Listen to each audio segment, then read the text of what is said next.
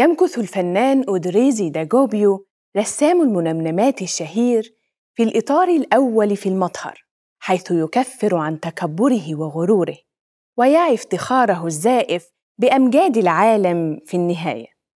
فبعد أن تخطاه كل من الرسام فرانكو بولونيزي والفنان شيمابوي في الإتقان والبراعة تفوق عليه تلميذه جوتو في فن الرسم.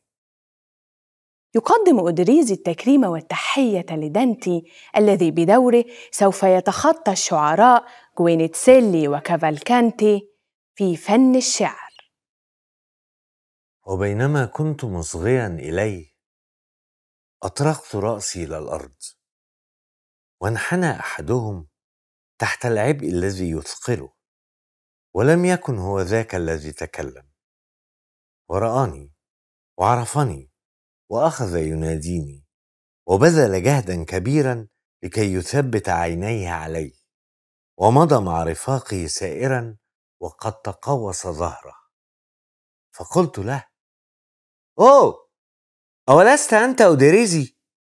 فخر جوبيو ومجد ذلك الفن الذي يسمى فن زخرفة الكتب في باريس؟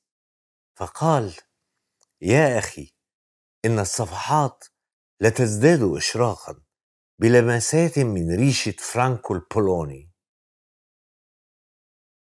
فله الآن كل الفخر ولي منه جانب.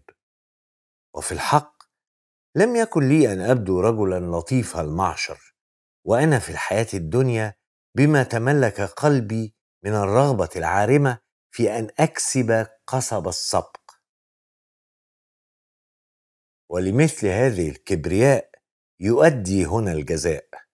وما كان لي أن أوجد هنا إذا لم أكن قد اتجهت إلى الله وأنا قادر على ارتكاب المعصيه أيها المجد الباطل لمناشط البشر. ما أقصر الوقت الذي تظل فيه هامتك مكللة بالخضرة؟ ما لم تعقبه عصور الظلام؟ لقد اعتقدت شيمابوي أنه في فن الرسم هو الأفضل ولكن الأشهر الآن جوتو حتى لقد أظلمت شهرة الأول. وهكذا انتزع أحد الجويديين مجد اللغة من الآخر وربما ولد من سيطردهما من العش معا. وما الشهرة في الأرض إلا كنفثة ريح تهب هنا طارة وطورا هناك. وتغير اسمها إذا تغير اتجاهها وإذا ما انتزعت الشيخوخة منك الجسد أو إذا مت وأنت لا تزال تتفوه بلفظ ماما إش. ففي أي الحالين ستكون أعلى صيتا.